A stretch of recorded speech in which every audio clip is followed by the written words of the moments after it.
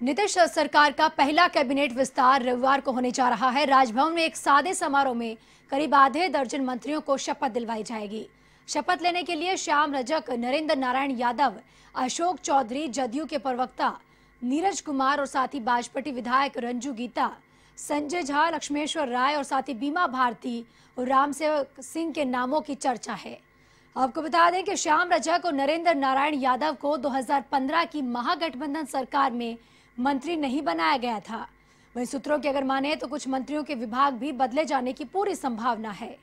Nitish cabinet में फ़िलहाल जल संसाधन, पशु संसाधन, उद्योग समेत कई मंत्री पद खाली पड़े हैं।